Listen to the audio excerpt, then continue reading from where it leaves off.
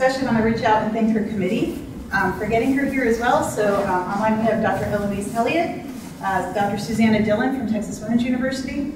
Um, who else is online? That's Dr. Uh, Melissa Sherfinsky, who's here at WVU. Uh, Dr. Bolger couldn't be here today, unfortunately, so I also want to thank Dr. Wyant for stepping in as an approved substitute uh, for Dr. Bolger so that we could get uh, Chloe's defense running today. So thank you very much for doing that at the last minute. Much appreciated. I also want to thank the Dean for coming. I understand this is your first WVU dissertation defense. So I am delighted. Awesome. This will be a very appropriate first dissertation defense. It will be. WVU. Yes, thank you.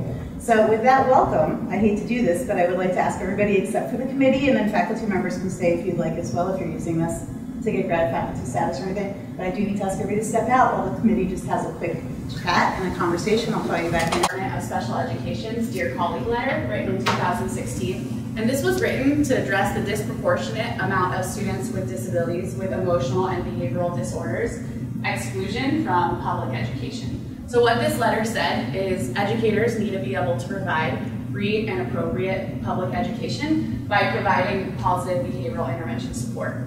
So what this letter showed is challenging behavior can serve as a barrier to. And so this is related to physical educators because they hold less favorable attitudes towards students with challenging behavior as compared to students with disabilities like physical disabilities. And these attitudes are informed by their previous experiences working with students with disabilities with quality throughout these three phases. So I first identified within the phases, and then I looked at how it changed to ultimately understand how individuals develop, develop uh, self-efficacy toward behavior management of students with disabilities. So to address these research questions, let's talk a little bit about my method.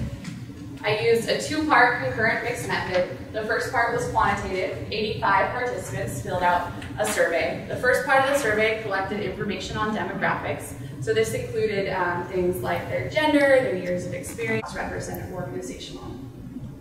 So within this first theme, out of sight, out of mind, acculturation again represented that childhood period until the point at which they entered their physical education teacher education program.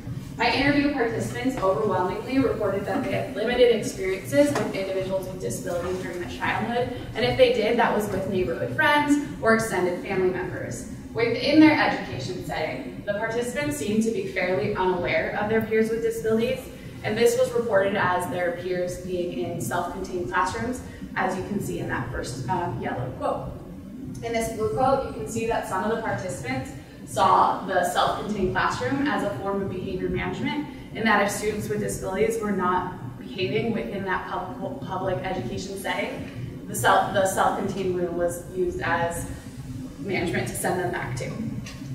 So also within this theme, um, the interview participants focused on how their parents, teachers, and coaches uh, influenced them. They had a large influence. So you can see in that first yellow quote, parents had large influence in that they taught their students inclusion and um, not judging a book by its cover and the golden rule. You can also see in the second yellow quote how the participants really valued the compassion they received from their teachers and coaches, which was a driving factor that they themselves sought a career as a physical educator.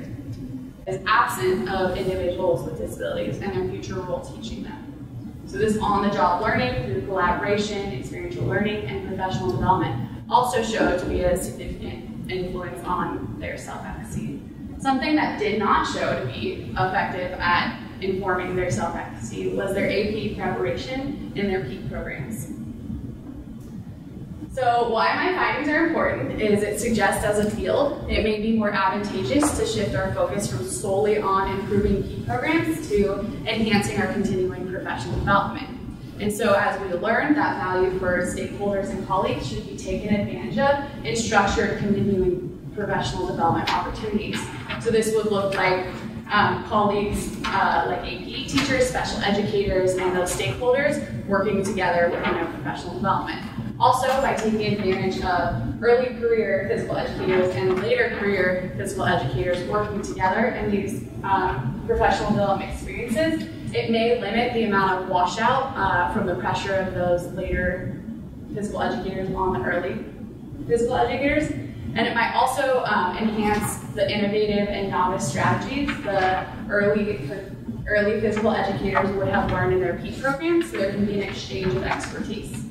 So it would be important that we conduct a longitudinal inquiry into the influence of these professional development trainings on physical educators' self-efficacy toward behavior management over time. All right, everybody, thank you for being here. Are there any questions?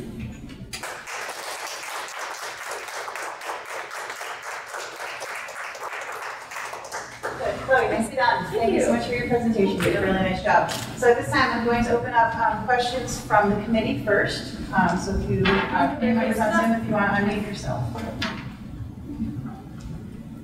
Whoever wants to go first and ask a question.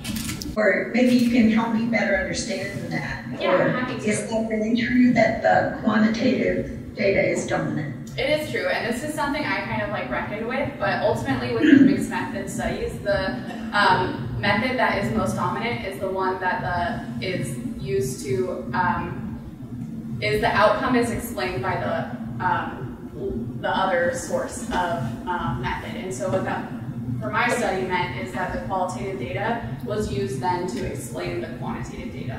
And so quantitative then is considered the dominant. And it may be the case that they're both, it's both a quan, both dominant quan involved, but I'm pretty sure. I think that was because, um, so Bandura suggests on self-efficacy scales that to try to broadly um, measure a task or something that individuals feel they're capable of, it's hard to measure things um, broadly instead of focusing on those individual um, so if you focus on more of a broader construct that you're trying to measure, it's not going to be necessarily representative of that smaller construct. So I wasn't able to find a scale that I felt um, was appropriate for my study, and that's why I chose this scale. Scale, but it may not have captured the unique features of uh, physical educators within the unique setting of teaching physical education or that behavior management. Because uh, um, that scale was validated with classroom teachers. Yeah, could you maybe extend, so my thought too is like they scored so highly on the scale, but yet in the, in the interviews, you're kind of seeing conflicting, Right. that, that they really don't have high levels Right. of self-efficacy. So what might you hypothesize that why might we be seeing that? Is that just because of an issue with the scale not being specific enough? Yeah, I think that the scale didn't necessarily capture the unique setting in which they teach in, and I think for that reason, they probably, as physical educators, may feel more adaptable and able. How did you tease out, when you were talking to participants, thinking about students with disabilities rather than just the class as a whole, Yeah. as a whole? That is such a good question because in the pilot of my interview, what I found was that I really needed to continue to reinforce and remind us students with disabilities that that was our focus.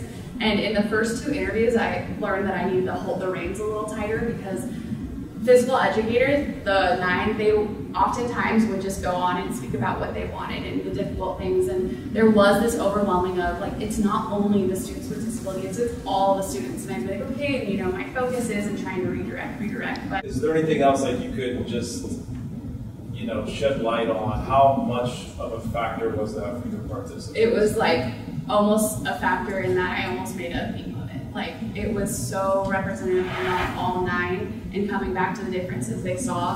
Um, one of the physical educators, I just had a blank to be honest, um, talked about how um, one of them was really focused on the highlights of that experience and being able to learn from the parents, whereas others really focused on how the behavior was just out of control and how there weren't really things that they that they felt prepared. Um, things like internalizing and isolation were some of the Role of leadership, administration. Oh, yeah.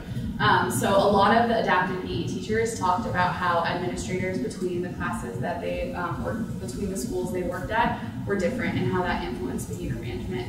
And then some of the later and mid-career participants spoke about how they experienced changes in that, um, the support from the administrators, and they tied that to professional development and that they might have had limited experiences in some schools and then found at another school they had really had like these robust opportunities. And so it was very dependent on both district and administrators. Another early career participant told me that he switched from general physical education to be an adaptive physical educator because he was so upset um, by the administrators countering what he believed. And one of the direct quotes that I loved was, he said, I sent a student to the office and then came back with a candy bar. Yeah. Yeah. And then my last question. Okay. So one comment is, uh, Chloe, I think we're more closely academically related than you talked about before. Dan Lortie's work, which is one of the seminal works on the school teacher. He also wrote work on the school principal, which is also considered a seminal work. He studied with, uh, taught with my dissertation chair. Oh, really? So that whole University of Chicago looking at things kind of affects how I've thought about my career and my work. Yeah. I'm particularly interested in this idea of the apprenticeness, apprenticeship of observation. Because everybody who went to school thinks they could be a teacher, and everybody who's been a teacher thinks they could be a principal, and everybody's PE because their behavior is considered aggressive, um, and that you know probably would be due uh, within the urban setting that I would conduct those studies. However, I haven't really thought about the greater. I think when you're at an affluent school that looks like a university compared to a. I think that's a really good plan. Yeah, I, I noticed that as well. Um, Intuitively, to me, it makes sense that you're going to have folks, um, kind of like you said, respond. Your APE teachers might be more responsive in part because this is this is something that they're connected to. And the GPE teachers who did um, respond were like, "Oh, this is such an important topic. I'm so frustrated with my school," and so